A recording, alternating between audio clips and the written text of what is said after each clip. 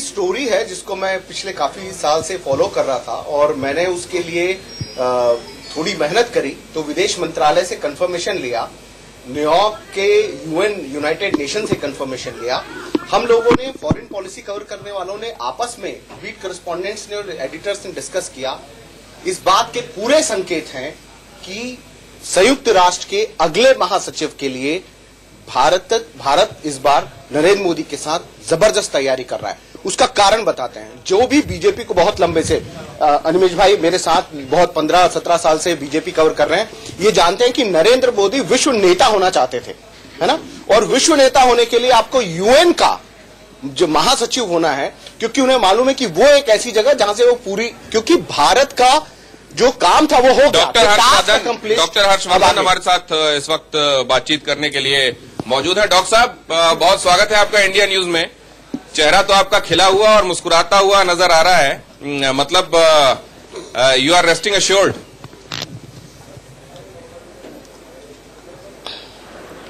नहीं आपको मेरे को कभी आपने मुझे टेंशन में देखा है क्या? आज तक ये बताइए। हाँ बात आपकी दुरुस्त है। लेकिन लेकिन वो 40 वाट आज 60 वाट दिखाई दे रहा है। नहीं नहीं ऐसा कुछ नहीं है। कोई परिवर्तन नहीं है। जैसा मैं रोज रहता हूँ वैसे ही आज हूँ। और आ, अब अब ये तमाम जगहों पर ये बात हो रही है डॉक्टर हर्षवर्धन कि असल में इस बार जो वोट डला है वो किसी मुद्दे पर और किसी पार्टी पर नहीं डला है। सिर्फ़ एक व्यक्ति के नाम पर डाला गया है और वो है प्रधानमंत्री नरेंद्र मोदी। आपको क्या महसूस हुआ कैंपेन के दौरान लोगों से मुलाकात के दौरान लोगों दिनेश मुझे लगता है कि डॉक्टर हर्षवर्धन की कंस्टिट्यूंसी में तो डॉक्टर मुझे ये महसूस हुआ होगा। कि मुझे ये महसूस हुआ कि प्रधानमंत्री नरेंद्र मोदी जी के कामों को जो उन्होंने सारे देश के सब क्षेत्रों के लिए समाज के सब वर्गों के लिए बहुत मेहनत बहुत ईमानदारी और बहुत निष्ठा से पाँच साल किए और उसके परसेप्टेबल और मेजरेबल रिजल्ट्स देश ने देखे। सारे दुनिया का नाम उन्होंने भारत का पूरे दुनिया में रोशन किया और लोग इसको महसूस करते थे कि नरेंद्र मोदी जी का दिल जो है इस देश के लोगों के लिए, उनकी समस्याओं के समाधान के लिए, गरीबों के लिए धड़कता है। और इसलिए ये आपने कहा ना नरेंद्र मोदी जी, नरेंद्र मोदी जी के काम और नरेंद्र मोदी जी ने जो भारत को एग्जेम्पलरी लीडरशिप प्रोवाइड की इसके लिए लोगों ने वोट किया है। लेकिन डॉक्टर हर्षवर्धन आप उन लोगों में से एक हैं जो जिनका अपना मास फॉलोइंग है जिनको लोग बड़ा पसंद करते हैं एक लीडर के तौर पर। मुझे अपार स्नेह और आशीर्वाद पाँच साल भी मिलता रहा। और चुनाव के समय भी व्यक्तिगत तौर पर भी बहुत आशीर्वाद मुझे लोगों का मिला। लोगों ने बहुत हृदय की गहराइयों से अपना स्नेह बरसाया। साथ में मैंने ये भी महसूस किया कि लोगों के मन में नरेंद्र मोदी जी के कामों के प्रति भी बहुत श्रद्धा है और बहुत विश्वास है। डॉक्टर साहब से एक सवाल सर बड़ी खबर इस वक्त की हम बता दें देश भर में वोटों की गिनती भी शुरू हो चुकी है और बहुत जल्द रुझान आने शुरू हो जाएँगे वो भी हम दर्शकों को बताएँगे। हर्षवर्धन जी सवाल आपसे ये है कि पूरे इलेक्शन के दौरान आपने कहा अब फिर एक बार मोदी सरकार लेकिन अब जबकि वोटों की गिनती शुरू हो चुकी है क्या आप कहेंगे कि अब होगा न्याय?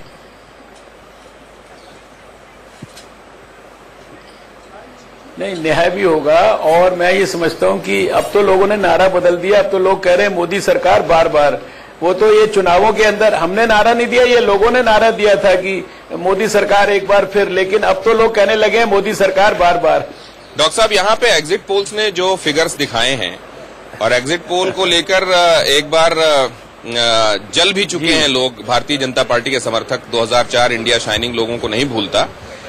आप डॉक्टर हैं नब्ज समझते हैं। आपने क्या नब्ज टटोली है? जी। मैंने देखिए मैं एग्जिट पोल के बारे में कुछ कमेंट नहीं करता लेकिन एग्जिट पोल से पहले ही पूरे चुनाव में जो मैंने लोगों का रुझान देखा और खासकर जो गरीब लोगों का रुझान देखा जो सड़क पे रहते हैं कोई रिक्शा चलाते हैं कोई स्कूटर चलाते हैं कोई सब्ज़ी बेचते हैं कोई मजदूरी करते हैं कोई मकान बनाते हैं कोई साप्ताहिक बाज़ार लगाते हैं ऐसे गरीब लोगों के अंदर भी जो मैंने भावना देखी सरकार के कामों के प्रति सरकार की गरीब कल्याणकारी नीतियों के प्रति मैंने पूरे चुनाव में लगातार ये बात कही है डॉक्टर साहब, एक बात, क्योंकि आप 2019 साफगोई के लिए भी जाने जाते हैं। नरेंद्र मोदी जी भारतीय जनता पार्टी के लिए 2014 से बेहतर होंगे डॉक्टर साहब, ये जीएसटी और नोटबंदी को लेकर जो कहा गया, हमने देखा भी कि ऐसा नहीं है कि इन चीज़ों से लोग परेशान नहीं हुए। लोग खासे परेशान हुए। और ये भी बात सच है कि नोटबंदी वाले दौर में, कतारों में लगे हुए कई बुज़ुर्ग और कमज़ोर लोग जान से भी गए। और इसको लेकर खासतौर से ये कहा गया कि अर्बन जो वोटर है, वो नाराज़ है। मिडिल क्लास जो वोटर है, वो नाराज़ है। छोटे उद्योग धंधे चलाने वाले जो लोग हैं, वो नाराज़ हैं। आपने क्या देखा? आपने अपनी कॉन्स्टिट्यूंसी में क्या देखा? देखिए, अगर आप सच मुझसे पूछें तो आपको पता नहीं विश्वास करेंगे कि नहीं करेंगे। पूरी कंस्टिट्युएंसी के अंदर एक भी व्यक्ति ने मुझसे नोटबंदी की बात कभी नहीं की। और ये नोटबंदी मेरे हिसाब से ये टेलीविज़न चैनल्स पर ही इसकी बात होती है। देखिए, जब नोटबंदी हुई थी और लोगों को तकलीफ़ भी हुई थी, सारा देश लाइन में लगा था, लेकिन किसी ने उफ नहीं की, क्योंकि किसी ने प्रधानमंत्री मोदी की नीयत के ऊपर शक नहीं किया। जीएसटी का जहाँ तक सवाल है, लोगों को शुरू में तकलीफ़ हुई। लेकिन उनकी तकलीफों को समझकर इतने सारे अमेंडमेंट्स किए और आज भी सरकार इतनी रिसेप्टिव है। और आज देखिए ना कि लाखों लोग जो है जीएसटी के नेटवर्क में नए आ गए हैं। जीएसटी के बारे में भी मुझे पूरी कंस्टिट्युएंसी में किसी प्रकार से लोगों के अंदर कोई रोष नहीं मिला। रादर लोगों ने कहा कि हम अल्टीमेटली हमें अच्छा लगता है कि ये देश के भले के लिए है। एक एक सवाल ये भी कि आपने जो डिपार्टमेंट संभाला, doctor Harshvardhan science environment climate change आप अपनी किस उपलब्धि के हिसाब से आप संतुष्ट मानते हैं खुद को?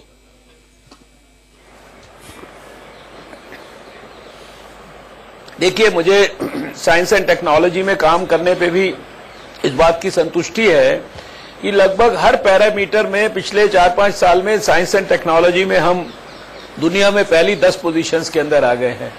आप देखिए कि सुनामी की अर्ली वार्निंग में हम नंबर वन है वेदर फोरकास्टिंग में हम नंबर फोर है नैनो टेक्नोलॉजी में हम नंबर तीन हैं। हम साइंस के पब्लिकेशंस में दुनिया में नंबर सिक्स हैं। साइंस पब्लिकेशंस के ग्रोथ रेट में हमारा 14 परसेंट है दुनिया का चार परसेंट है। सीएसआईआर दुनिया के 1200 संस्थानों में पहले 10 पोजीशंस के अंदर आ गया है और एनवायरमेंट का तो हमारे को इंटरनेशनल अवार्ड हमारी सरकार को मिला प्रधानमंत्री जी को दुनिया का सबसे बड़ा अर्थ केयर अवार्ड मिला जो क्लाइमेट पॉलिसी के लिए दुनिया के टॉप हंड्रेड डॉक्टर साहब आपको ये बता दें कि कुछ रुझान मिल रहे हैं? शालिनी बताएँगी। मूवमेंट हमने किया वो यूनाइटेड नेशन हर्षवर्धन जी हम आपके पास आएँगे लेकिन रुझान आने देखिए शुरू हो गए हैं। रुझानों में एनडीए छह सीटों पर आगे है। बड़ी खबर इस वक्त दर्शकों को हम बता रहे हैं। यूपीए दो सीटों पर आगे है। और एनडीए की अगर हम बात करें तो संख्या देखिए बढ़ चुकी है। छह से दस हो गई है एनडीए की सीटें। दस सीटों पर देखिए ये बढ़ता जा रहा है। ग्राफ जो छह तो से सेकंड के हिसाब से बढ़ रहा है। ये तो ये निमिष ये तो ये ये ये तो लग रहा है जैसे 100 मीटर स्प्रिंट चल रही हो। पोस्टल बैलेट के हैं ये पोस्टल बैलेट है लेकिन नहीं नहीं लेकिन इस बार ये बताया गया था। ये पोस्टल बैलेट पोस्टल, नहीं है सर पोस्टल नहीं पोस्टल ईवीएम है वो पोस्टल की और ईवीएम की गिनती इस बार समानांतर की जाने वाली थी क्योंकि पोस्टल भी बहुत आ गए थे शुभ्रत साहब भी हमारे जुड़ गए हैं बहुत स्वागत है सर आपका इस चर्चा में। शुभ्रत साहब अभी तमाम दावे वेस्ट बंगाल को लेकर टीएमसी के चल रहे हैं। पैंतीस सैंतीस से नीचे कोई वहाँ टीएमसी वाला अभी नहीं जा रहा नंबर एक। और कुछ देर पहले ममता बनर्जी आज सिंथेसाइजर लेके बैठी है उसमें कोई धुन बजा रही थी वो। नहीं साथ ही चलेगा साथ चलेगा। हाँ रोम चल रहा है और नीरो बांसुरी बजा बजा रहा था। इस राज्य में पंचायत चुनाव में बच्चे नहीं दाखिल हो पाए तो उनको नहीं चलती। तो इसलिए अगर वो पैंतीस सैंतीस कह रहे हैं अब जमीनी हकीकत तो ये है कि वहाँ पर बीजेपी का ग्राफ बड़ा है। परंतु अब वहाँ पर रिगिंग होती है और रिगिंग आज से नहीं है रिगिंग उन्नीस सौ बहत्तर से। उन्नीस सौ बहत्तर तक कितनी थी कितने साल हो गए? वहाँ तो वहाँ तो रिगिंग रिगिंग जो है बंगाल की कॉटेज इंडस्ट्री है। तो रिगिंग वहाँ के स्वभाव में एनडीए चौदह यूपीए चार अदर ज़ीरो डॉक्टर हर्षवर्धन हमारे साथ जुड़े हुए हैं। डॉक्टर हर्षवर्धन ये डॉक्टर हर्षवर्धन अब हमारे साथ नहीं है। हर्षवर्धन से अभी नहीं अभी वो हमारे साथ है नहीं नहीं पर एक बात उस पर दो चीज़ें दो सवाल खड़े हुए हैं। पहली बात डॉक्टर हर्षवर्धन जीतेंगे अपनी जगह और यदि एनडीए आती है तो सवाल सबसे बड़ा यह है कि डॉक्टर हर्षवर्धन जैसे व्यक्ति को क्या मोदी सरकार में इस बार कोई अहम रोल मिलेगा? क्योंकि हमने पाँच साल प्रधानमंत्री का विशेषाधिकार है। हाँ, तो यही और ये उन पर छोड़ दिया जाना चाहिए। अभी अगर आप चहल साहब होते और उनसे पूछते तो यही जवाब मिलता मैं उनकी कमी पूरी किए देता हूँ। लेकिन लेकिन चाइना एनसी जुड़ी हुई है। अजीत मंडोला साहब भी हमारे साथ जुड़ गए हैं और वो नोटबंदी को लेकर अभी जो बात हुई इस पर कुछ जोड़ना चाहते हैं। बड़ी चर्चा होती है हर बार कांग्रेस भी कहती है व्यापारी बड़ा व्यापारी परेशान है तंग है। मैं बड़ा हैरान हूँ जब उत्तर प्रदेश का चुनाव हो रहा था नोटबंदी बहुत बड़ा मुद्दा था। तो मैं कई जगह घुमा वहाँ मेरठ के आसपास कई इलाकों में। एक बड़ी अच्छी बात थी व्यापारी कहते थे यार मोदी ने तो हमें एक ही बार मारा है लेकिन जो हर हफ़्ते वसूली होती है वो रुकी हुई है। आप ये समझे इस बात को? व्यापारी जो है कुछ हो जाए बीजेपी के शासन में सबसे ज़्यादा सुरक्षित महसूस करता अपने को। और जो बार बार ये बड़ी की व्यापारी व्यापारी कहता है यार हर हफ़्ते हमें वसूली देनी पड़ती है पुलिस वाले को कोई गुंडा आता है कहता है पाँच सौ रुपये दे कोई कहता है हज़ार रुपये दे तो वो रुक जाती है बीजेपी के शासन में। तो इसलिए नोटबंदी मुद्दा नहीं बन पाया। कांग्रेस इस बात को बार बार कुछ नए मेहमान हमारे साथ जुड़ रहे हैं शालिनी उनसे आपका इंट्रोडक्शन कराएँगे और फिर हम उनसे कुछ बातचीत करते हैं। चलिए सबसे पहले तो बीजेपी से हमारे साथ चाइना एनसीजी जुड़ गई है तो उनका रुख कर लेते हैं। शायना जी और दूसरे मेहमान संजय चोकर साहब भी हमारे साथ जुड़ गए कांग्रेस से। और स्वाति सिंह भी हमारे साथ इस चर्चा का हिस्सा होंगे, लेकिन चाइना से आप सवाल ले रही हैं। चलिए, शायना जी से यहाँ पर हम सवाल ले लेते हैं। शायना जी, अभी यहाँ पर बात हो रही थी नोटबंदी की और जीएसटी की, और अभी जैसा कि यहाँ पर हमारे साथ वरिष्ठ पत्रकार जुड़े हुए हैं, उन्होंने कहा भी कि नोटबंदी का और जीएसटी का उतना खास असर दिखाई दिया नहीं, क्योंकि उत्तर प्रदेश में उसके बाद आपने चुनाव जीते। गुजरात में जीएसटी के बाद ही हालाँकि बहुत अच्छा प्रदर्शन नहीं था, लेकिन फिर भी बीजेपी को किसी तरह से जीत हासिल हो गई। गुजरात के ऊपर मैं खासतौर पर यहाँ आपसे सवाल पूछना चाहूँगी कि इस बार गुजरात में आप कितनी सीटें दे रही हैं? क्योंकि विधानसभा चुनावों के नतीजों से अगर हम जोड़ करके देखें तो क्या 26 की 26 होगी आपकी?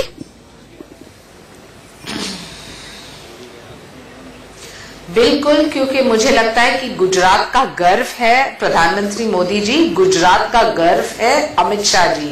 और गुजरात की जनता जानती है कि एक क्लीन अप ड्राइव की आवश्यकता थी।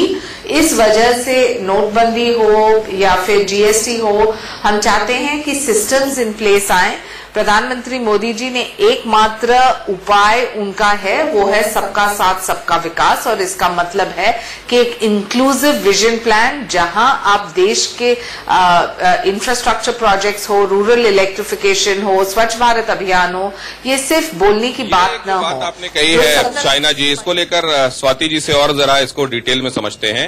इंक्लूसिव ग्रोथ जिसको कहा जा रहा था यूपीए के समय में उसको आप लोगों ने नाम दिया सबका साथ सबका विकास। लेकिन क्या वाकई ऐसा है कि हर एक सेक्शन के हर एक सोशियो इकोनॉमिक सेगमेंट्स को आप लोग हमेशा साथ में क्या ये मुमकिन भी है क्या रियलिस्टिकली कि हर एक सोशियो इकोनॉमिक सेगमेंट को हम साथ में हमेशा लेकर चलें as a political party Swati Singh ji आपकी टिप्पणी क्या है इसमें?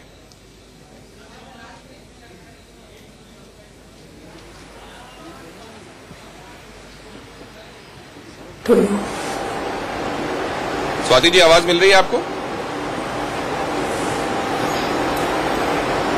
जी जी आ रही है बस कहा जाता है कि कई बार कुछ नारे ऐसे खड़े दोबारा से क्वेश्चन करेंगे क्या? जी मेरा सवाल यह है कि कई बार कुछ चीज़ों को इसलिए नारा नारे का स्वरूप दे दिया जाता है क्योंकि हकीकतन वो नहीं होते। जैसे हिंदी चीनी भाई भाई एक टर्म कॉइन किया गया था एक एक नारा एक उछाला गया था। सबका साथ सबका विकास। हर एक सोशियो इकोनॉमिक सेगमेंट को साथ में लेकर चलना ये सिर्फ़ नारे की बात है या असल में हकीकतन ऐसा हो भी सकता है? क्योंकि भारतीय जनता पार्टी से मिडिल क्लास नाराज़ है। ऐसी बातें हमको सुनने को मिली इस, इस, इस, इस चुनाव के दौरान। देखिए मैं आपको बताना चाहूँगी कि जो अभी आपने बोला कि मिडिल क्लास नाराज़ है बीजेपी की सरकार से या मोदी जी से मैं आपको बताना चाहूँगी कि अगर ऐसा होता तो जिस तरीके से एग्जिट पोल में दिखा रहे हैं कि अ, साढ़े तीन सौ तीन सौ सैंतीस, सवा तीन सौ, इस तरह का जो एग्जिट पोल में दिखा रहे हैं, ऐसा होता नहीं।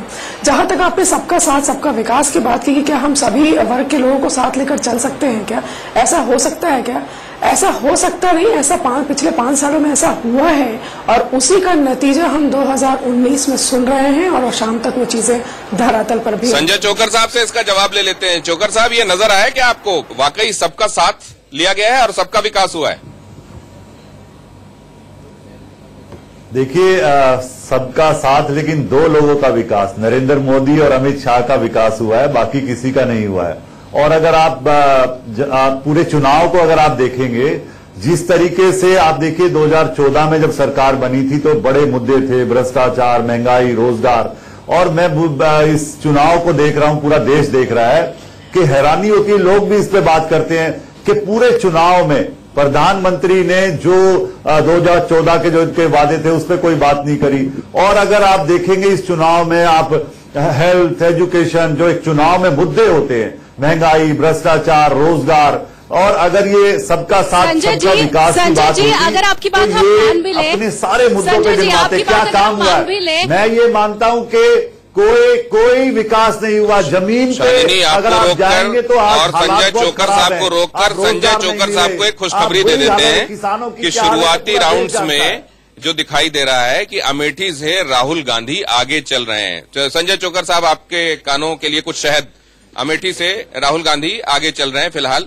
ये खबर है। जी अपनी बात आपके लिए है। संजय जी लेकिन मेरा एक सवाल आपसे ये है कि अगर आपकी बात मान भी आप ये देखिए बीजेपी के लोग बात तो पहले कहते हैं कि। वहाँ राहुल गांधी जी अच्छी वोटों से जीतेंगे। सर, अगर बीजेपी ने मुद्दों के ऊपर बात नहीं की और जैसा कि अभी दिनेश जी भी कह रहे थे कि मिडिल क्लास बीजेपी से नाराज़ था, युवा भी कुछ नाराज़ थे बीजेपी से कि उन्हें रोज़गार नहीं मिला और रोज़गार का वादा पूरा नहीं कर पाई बीजेपी बावजूद इसके, क्या आप एक बड़ा नेता, बड़ा चेहरा सामने नहीं रख पाए? और यही वजह थी कि लोगों ने सोचा ऑप्शन नहीं है तो नरेंद्र मोदी क्यों नहीं? आप भुना नहीं पाए क्या? बीजेपी से जो नाराज़गी लोगों की थी, उसे नहीं, ऐसा नहीं है। हमारे पास बड़ा नेता भी है, बड़ा चेहरा भी है, सारी चीज़ हमारी पार्टी भी है। आप अगर देखेंगे, जिस मजबूती के साथ राहुल गांधी जी ने पिछले पाँच साल में, चाहे वो किसानों की बात है, चाहे युवाओं के रोज़गार की बात है, सारे मुद्दों को मजबूती से उठाया है। और ये तो जनता के ऊपर आप किसको वोट देंगे, किस तरीके से? लेकिन कोई देश का आदमी, पूरे लोगों ने देखा कि पूरी मजबूती के साथ सारे मुद्दे उठाए हैं। और आप देखिए स्टेटों में कितना बढ़िया जब से राहुल जी अध्यक्ष बने, हम मध्य प्रदेश, राजस्थान छत्तीसगढ़ सारी स्टेट हम जीते हैं। जो NDA thirty UPA nineteen others zero NDA thirty UPA nineteen others zero फ़िलहाल ये फिगर हमें मिल रहा है। राज्यों के भी यहाँ पर रुझान सामने आने शुरू हो गए हैं। देखिए कर्नाटक में बीजेपी सात सीट पर इस वक्त आगे चल रही है। बंगाल की अगर हम बात करें तो यहाँ भी बीजेपी आगे है। सोलह सीटों पर बीजेपी आगे चल रही है। तो दो राज्यों के रुझान भी आने